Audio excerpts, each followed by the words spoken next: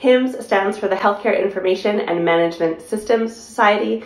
It is a global thought leader and member association focused on the health community with over 100,000 individual members, 480 provider organizations, 470 nonprofit partners, and 650 health services organizations.